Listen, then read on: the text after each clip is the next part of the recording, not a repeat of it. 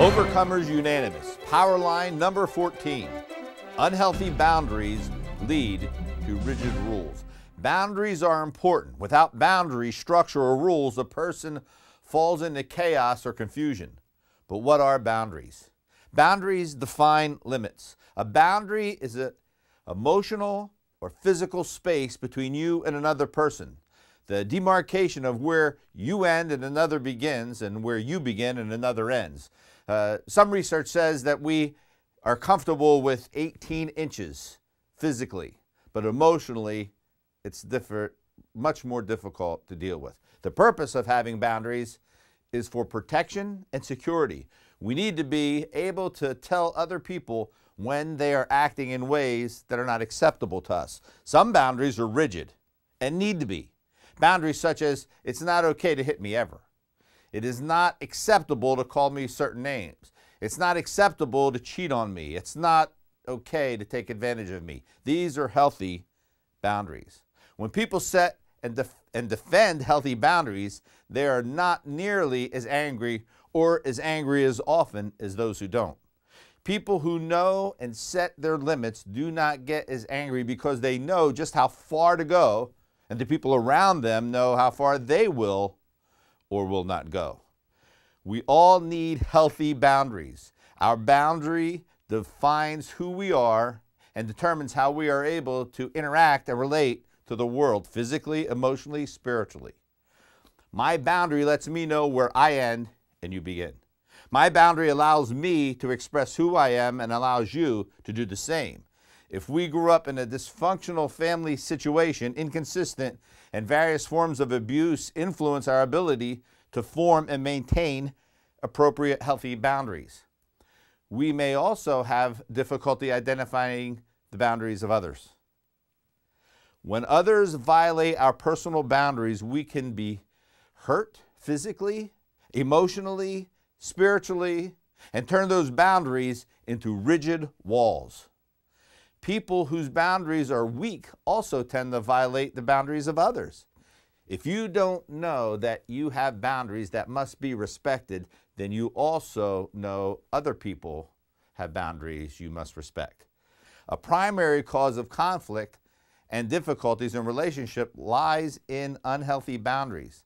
My boundary is my container. When I'm too contained or not contained enough, then problems in relationships result. Healing and restoring our boundary is part of the change process or recovery process.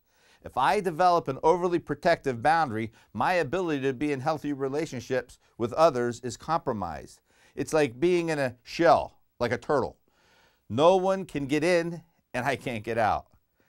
The give and take, the back and forth flow in a relationship is hampered. One of the effects of a lack of boundaries is the impaired ability to discern the difference in identity between yourself and another. This may be expressed as enmeshment, intertwined with another, where you may adopt thoughts and feelings of another person and a, semblance of boundaries is blurred, if not altogether lost. For example, codependent people, perhaps in the roles of a caretaker, a fixer, or a people pleaser, may appear to be highly focused uh, on another person and very sensitive to that person's needs, yet they are in many ways unaware of the other person's truer needs or boundaries. This is because codependents are involved in projecting their imagined beliefs about the person onto them based upon their own unresolved fear or past experience.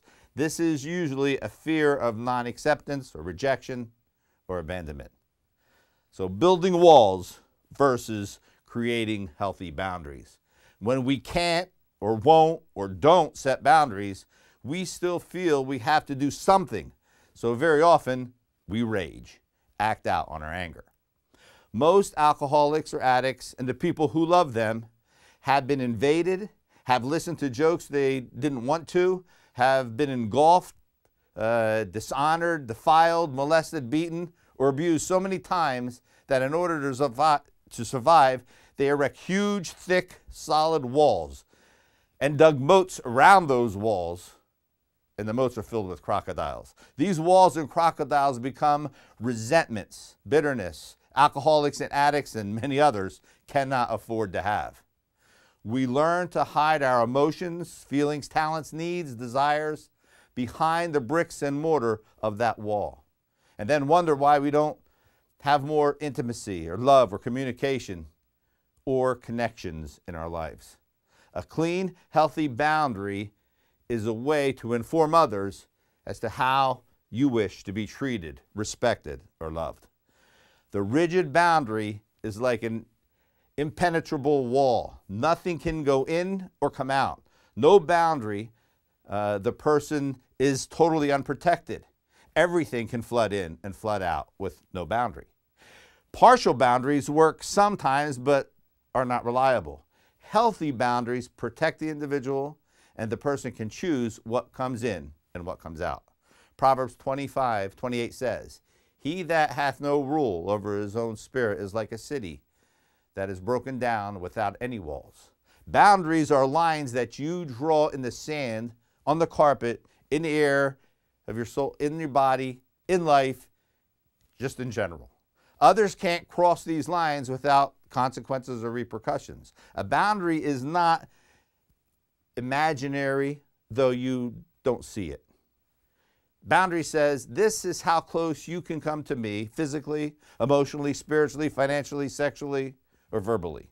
Boundaries, if created and defended appropriately, will prevent you from getting angry as often because you will feel less violated, less offended, or abused, or exhausted.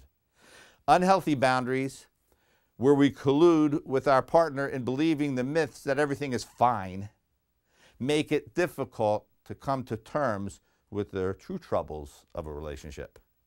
Healthy boundaries allow us to test reality rather than rely on fantasy. When problems are present, good boundaries allow us to define the problem and to communicate with our partner in finding a solution. They encourage healthy self image, healthy trust, consistency, stability, and productive communication. Galatians 5:1 says, Stand fast, therefore, in the liberty wherewith Christ hath made us free, and be not entangled again with the yoke of bondage. Rules, like boundaries, are important. We need to know structure and limits. Rules without a relationship with God are just rules.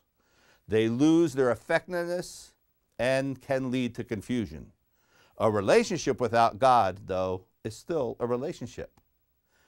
If the relationship with God is cultivated and nurtured, His rules become second nature because they no longer seem like rules or restrictions, but freedom, an outgrowth of love and not a mandate of performance.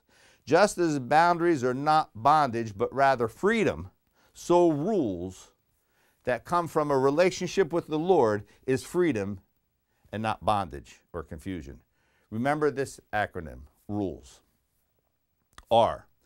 Rules or boundaries unrelated to a loving relationship eliminate safety and security. Rules. Rules or boundaries unrelated to a loving relationship eliminate safety and security. Overcomers Unanimous, power line number 14. Unhealthy boundaries lead to rigid rules.